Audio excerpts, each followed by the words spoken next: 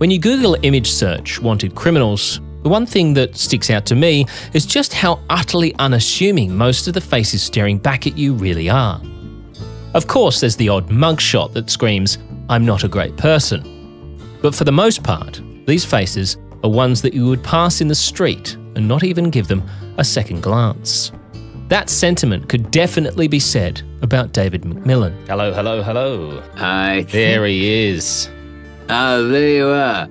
Well, that's all right. We got Uh, there. Listen, uh, are you still getting your shit together, or I'm, I um, know I'm good. I'm, I'm. We can we can get going. Yeah. I, yeah, yeah. I didn't want to. I, I, I realized how late it was over there. Well, all right. Um, let me just get a, a drink, and I'll Yeah. be back in a flash. Perfect. At almost 70 years old, David has lived a life that is almost unbelievable. The head of an international drug trafficking business that spanned across multiple continents.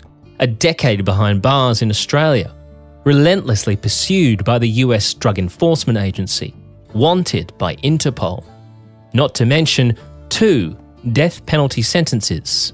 And the only Westerner on record to have successfully escaped Bangkok's Klong Prem prison, also referred to as the Bangkok Hilton. Would they have executed me? I think they. Australia definitely gave the go ahead. Hmm. Britain didn't care.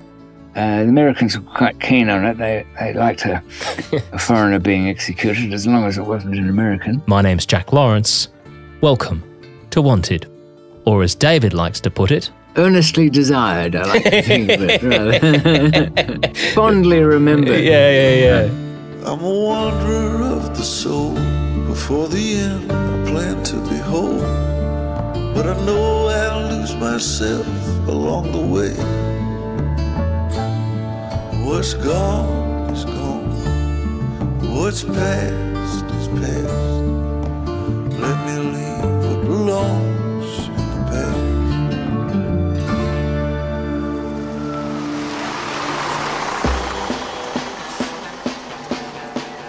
past. It's April 5th, 1956, in the West End of London. John and Rosie McMillan welcome into the world their new baby boy, who they name David. David's mother, Rosie, was in fact Australian, and as a result, David would make several trips back and forth between the two countries as a youngster. We've actually got something in common because I was also born in the UK and emigrated to Australia. You came over with your, your mother, I believe. I, I did. I came over on the Orsova when I was three. Well, the first time. We went back uh, when I was seven and then 10. So I sort of imported myself a few times. In fact, I'm, I'm Australian by. I misread the certificate. I thought it said uh, citizenship by being decent. It wasn't, it was descent. It's just that mum and dad were actually born in Australia. I thought, oh, well, it's pretty damn. I mean, if that's not forgiveness, what is? So your so your parents were actually born in Australia. Rosie, my mother, was, and um, as much as he tried to hide it, uh, my father, John McMillan, uh, was uh, Australian. I mean, he changed his accent several times, but I heard just a bit of Australian in there. During the war, he, he was a, a major or something in the um, radio section where they did trying to counter the German propaganda. So I don't know what side he was on. he was pretty good. As for David's father, he says he really didn't have much of a relationship with him. he got himself um, CB, which is commander of the British Empire. So he, he, he was a real snob and didn't think much of me. Eh, Not because he probably had any fundamental objection. And it just didn't fit into. Um, he kind of scripted his life, and there, there wasn't really a, a role for me in, in that. David's mother and father would separate when he was still very young, and he would again head back to Australia with his mother and sister and move to Melbourne.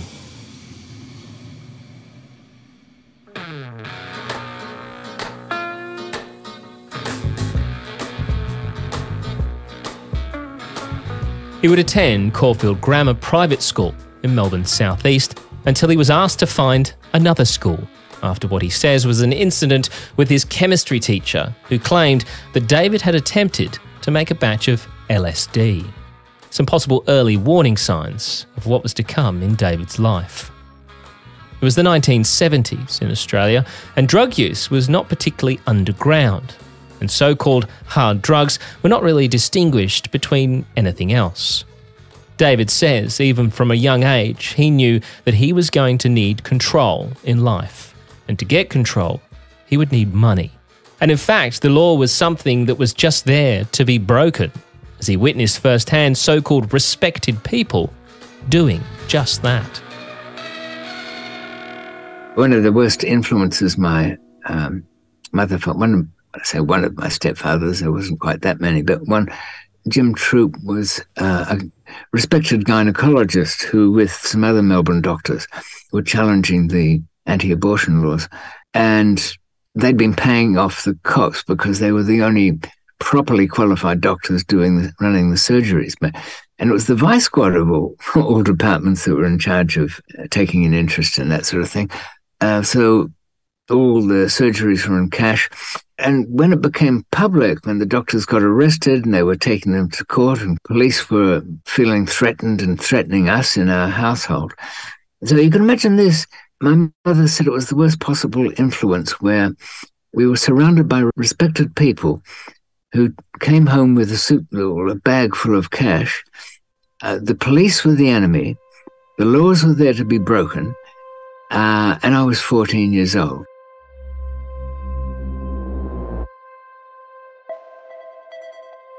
So, how would David go about taking control? How was he going to make his money? Well, he would find that answer in the local library. By 18, I was really going to the library looking up what is the quickest and most profitable thing to do in the world. And uh, the Guinness Book of Record made it very plain that the wholesale price of opium in the fields of Turkey compared with the street price in New York City, the final product, was 127,000%. Dear God. Hmm. I thought, okay. I think they've left out a bit in this story, but and by chance I ended up meeting uh, some safecrackers who'd retired and wanted to put their money into something. They used to buy marijuana from the uh, Murray River Valley Italians there, but really what they wanted was somebody who could import, and I thought I could do that. It just seemed to be my kind of thing. David formed a friendship with this group of former safecrackers, guys that were all loyal to each other, always looking out for one another, and he felt drawn to their world. They had a need, and David decided he could fill it. So he leaves his job at the city cinema and decided that he was going to have a crack at importing the drugs that these retired safecrackers were after. One of them gives him a loan for a few thousand dollars, and David sets off for India on the hunt for some hashish. His initial plan was to import a big piece of machinery which had weights in it. Then they would be removed and replaced with the drugs and thus weighing the same on its return. Good plan on the outset, but David soon found out that he would have to pay an extraordinary amount in duty just to get it into the country. So that was off the table. It would be a chance meeting, however, with a man at the money exchange, which would see him pull off one of the worst attempts at a drug importation you can think of, as he's given six kilos of hash and then sets about trying to hide it in an old 1950s radio, jumping back on a plane and heading straight to Sydney.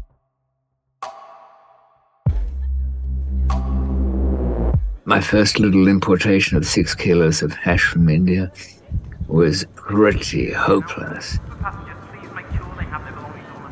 but um, all stuffed into a, a 1950s Grundig radio that had been eviscerated completely. A, kind of avuncular customs officer at Sydney opened my suitcase. And There's nothing in it. I think there were three pairs of socks, a t-shirt, and this thing. and you just come back from India? yeah, yeah, straight from uh, New Delhi. Whack into Sydney Airport. Nah. Uh, he looked at it and spun the tuning dial, which kept on spinning, gravity doing its stuff. Nothing behind there to stop it from spinning. and he said, Are you um, going back there? No, no, I said. Oh, see that you don't, and take the fucking radio with you. Um, you, you never get that kind of break these days. No, absolutely They work in not. teams. Talk about close call. But this didn't deter David from his ambitions of drug importation. No, he just needed to get better at it. Soon enough, I'm doing pretty well. Instead of um, accosting and, and living on the good graces of uh, some wizened Sydney uh, customs officer, I, I've learnt how they do their thing. That when you arrive back in the country, um, they want to know where you've come from. They want to look at your passport and see the history of it. Hmm. So I need passports, a lot of them. I also noticed they worked in teams, and uh, if you did get stopped, which shouldn't happen if you've got it all together, but let's just say you do, you would be in front of two officers. The first one would do the searching of your bag. He'd drop the lid onto his hand uh, just to feel the weight of it. Then he'd lift up pretty much every object, uh, the toiletries bag, unzip it, give it a jiggle, zip it up, put it aside, unrolled towel, lift up something else. Could he search everything? No. Did he have any uh, special information? Likely as not. But you'd come from an iffy place and you were a young guy, so, you know. But this is what happens. The guy watching from behind, with whom you're having some kind of stilted conversation because you're shitting yourself that this thing will be found. When the guy who's going through your stuff lifts up Teddy Bear, hmm, gives him a bit of a squeeze, a heft, and puts him aside in the cleared objects. You, if you don't know what I did by then, ah, the shoulders drop down. You look up at that officer that you've been talking to. Oh, yes, suddenly you're a new man. Yeah, well, I, I, didn't really like Bali and, you know, uh, the girls in Bangkok. It's like talking to a different person. As soon as you change like that, he taps the man who's doing the searches. The last object was it. Wow. And that was the part I liked, the research. And, and, and people didn't have the passion for it. I, in recruiting, I, I said to some people, I don't want lazy criminals. You've got to, you don't run away from it. I mean, people say, oh, if there's something, if there's going to be a problem with this stuff, I'm dropping it and running. You've got to be impassioned about it. And it, it got to the point, really, where I didn't want to let the stuff go, especially if it was like Coke from Colombia. I'd care over it, packing it and using laminate so that no odor would ever escape from it. When I'd finally get back to my little zone of operations and unpack this thing, I fairly carefully because the, I could use the devices a few times. And then I put it there in front of me. Jack, I didn't want to let him go. Well, it was a her by then who'd taken on a kind of ship's feminine personality. David was so involved and obsessed by the process of smuggling drugs that even when he got to the stage of having couriers and putting them through training, he was always close by. It was like some school teacher in their final exam when they were going through. I couldn't leave them alone. I'd be in a couple of seats up from on the plane. And, So you would you would go uh, with really- like trainee, as it were, couriers to make sure that they were okay. Oh, and, and particularly when they're on a real job, I didn't I didn't want them making any decisions. That would be a disaster. And even if they uh, were asking what it was they were smuggling, I'd say, well, I think of the worst thing you can imagine: plutonium.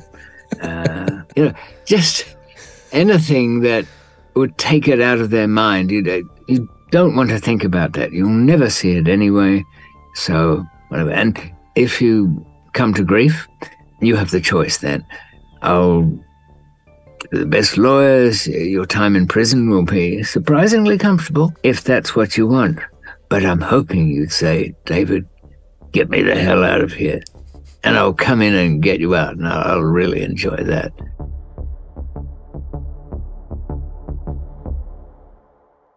So, as I said at the start of this episode, David McMillan is not a man you would look at and think, well, there's a hardened criminal. I mean, of course, he's now 67 years old and a very slightly built man. But even in his more, shall we say, sprightly years, he had more of a look of a man that you might meet at the bank about a home loan, not someone you'd go to to get your hands on 10 kilos of Colombia's finest. David said this had an obvious advantage when it came to the authorities. However, he was also dealing with some very dangerous people. So, how did he avoid getting himself into trouble with them? Again, Jack, there is a technique that even the most featherweight of people can protect themselves Mm. because I always found that people fear what they don't know. You know, you'd meet somebody for business and say, uh, look, um, Naru, the people now, I mean, they really depend on me for a living and they come from a, a bit village. If something goes wrong, they'll kind of, they won't really ask anything much. They just have a handful of photos and start tearing up when they see any of them and shoot them all. So, uh, let, let's try and not, you know, rock the boat on this one. You know? So the idea of kidnapping me and wringing money out of me was not somebody would be really very reckless to um, take that on because they just didn't know where this unseen enemy might come from. And of course, anybody who's really capable of doing anything, you certainly don't want to look the part. Certainly, um, the more, uh, when I say respected, more professional of um, killers I've met was certainly never looked the part. I don't know, you're too young, but there was a guy called Jim Bazley, he was Australian. Jim, you would never expect to look. They'd look like a kind of grandfatherly type. Yeah. In fact, part of the case against him when it came up was that he refused to shoot the family dog. So, a very brief Australian criminal history lesson for you. The man that David is referring to is James Frederick Bazley, also known as the Iceman or Machine Gun, and he's long believed to be the hitman who gunned down prominent anti drug campaigner and Liberal politician Don Mackay. It's an order supposedly given by the Italian mafia in Australia in the 1970s, and was the subject of Channel 9's Underbelly series A Tale of Two Cities. James Bazley died at the age of 90 in 2018, a free man in a Melbourne nursing home, although no stranger to the inside of a prison cell. In fact, in 1986, he was sentenced to nine years behind bars for the conspiracy to murder Mr. Mackay, but was never tried over being the one who actually fired the gun used to kill the politician. He also was handed a life sentence for his role in the double murder of drug couriers Isabel and Douglas Wilson, whose bodies were recovered in 1979. However, handed a life sentence, Mr. Bazley would walk out of prison in 2001. Mr. Mackay's remains were never found. Mr. Bazley kept his secret until the very end. Police would describe this man as someone who saw murder as a job and felt absolutely no remorse.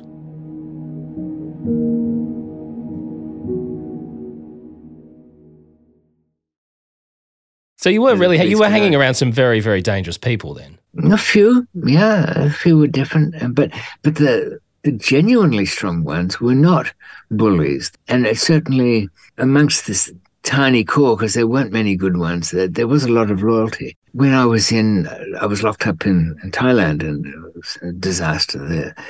Nobody really knew what had happened to me, or clearly anyway. Um, they knew sort of where I was. But after months and months and months, I finally found myself inside the prison behind the rice stacks of a little warehouse where they kept food uh, by the Chinese Thais who, who gave me a rather bulky looking mobile phone. And I got through to Michael at, at some ungodly hour, and he hadn't heard from me in a long time. He interrupted me as I began to explain the extraordinary event. He said, David, don't explain anything. We don't have time. Just tell me what I've got to do and what I need to bring. I thought, wow, you know, that's what you want, don't yeah, you? that's what you want on your side. Absolutely, totally. this Michael that David speaks of was his longtime business partner and former champion pole vaulter, Michael Sullivan. A man whose life likely would have been vastly different if he had been able to represent Australia in the Olympic Games. Michael was, in fact, the first ever Australian to break the 16 foot mark in pole vaulting, but was passed over by Olympic selectors in 1968 for the Mexico City squad. He would later suffer a severe ankle break, which would not only see him miss the Commonwealth Games, but also lead him to develop an addiction to his pain medication, which then led to drugs. And his eventual meeting with David. And so a long and lucrative partnership began.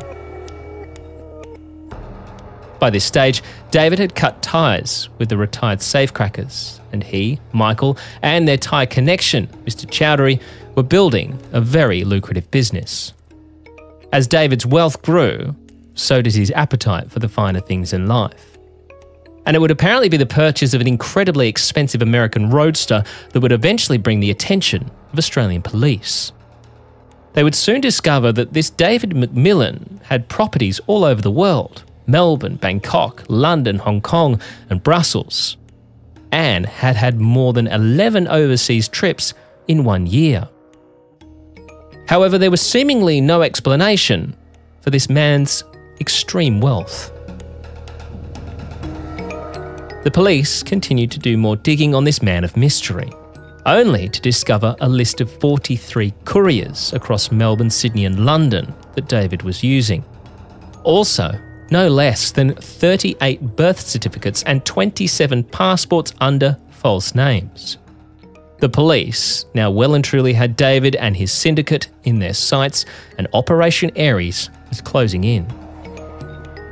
It would, in fact, be David's travel agent that would tip him off about police making inquiries into him, two detectives came in with a long list of names they wanted travel details for. On that list was 30 names, 26 of which were aliases used by David at the time. What made David such a success was his love of risk and adventure. However, this would also be his downfall, as Operation Aries swoops. In Australia, I was arrested after a very long task force, state federal operation. Um, I was warned, sure, get out of town. I didn't. Arrogance again. I thought, well, if there are a big police setup, then they won't cheat too much uh, because they'll want to get the goods. I mean, but they moved in and arrested when there was no no drugs to be found, and it makes for a very tough case. Mm. Jack, if you ever find yourself on a murder charge, hope that they found a body because you can you've got something to win over if mm. it's a conspiracy where it's all innuendo and talk and so much evidence can go in that's just chatter. Uh, we thought uh, there, there were 12 couriers. They didn't say a word. They were good. The code of silence was being upheld so far by all involved. However, police would tighten the screws on the team by arresting both David and Michael's significant others and placing them in prison when tragedy would strike. Because the evidence wasn't very strong, they did a mass arrest thing. The families got rounded up. My Italian wife at the time, uh, Vigano, was arrested. Michael's Colombian wife was uh, arrested. She just had a baby. Um, uh, still nothing. Nobody was wakening. Um, the, they put an informer in the Fairlea Women's Prison to extract some kind of information out of them. But um, their choice of informer, um, Danielle, was a poor choice indeed. She was an arsonist, and that was his solution to anything to set fire to the place, which he did, and burnt the women's prison, that section of it anyway, to the ground. That caused the death of Clelia and Michael's wife, Mary. And something you don't want to hear any time, but it's particularly creepy uh, when you were in a prison. And, and the prisons in those days didn't barely had radios, so eleven o'clock at night they'd switch it off, and I just heard the beginning of the story about a fire at the women's prison. Sir, this evening about quarter past eight, uh, twenty past eight, an alarm was received from the remand section at Fairlea Uh, the fire brigade attended with uh, quite a number of appliances, and on attending, uh, they found a uh, fire burning in the remand section. Some fatalities, click, and it was off. As a result of that fire, uh, three female prisoners are deceased. So after a restful night's sleep, Mm. I came out of the cell in the morning and straight over to one of the officers I knew. Well, and I skipped the formalities. Oh, Dave, uh, shuffling around, pushing pens around his desk. Um, we uh, look um, not clear at the moment, but look, uh, I know you're probably you know, a bit worried or that. That wasn't a good sign, and nobody would talk to us. Michael and I were called up for a legal visit a few hours later. Um, deserted visit center. One officer on duty who was busy examining his foot or something. Yeah, yeah, yeah, through the next door. And all our families were there, well, those who remained anyway. So that was, uh, of course, I felt completely responsible and, and guilty. Uh, I, I felt like really for the first time I had blood on my hands and it was almost like my own. Still, the authorities, to make the best of a bad situation, put it about that um, we had uh, started to uh, eliminate all the witnesses and Starting with your own wives. Yeah.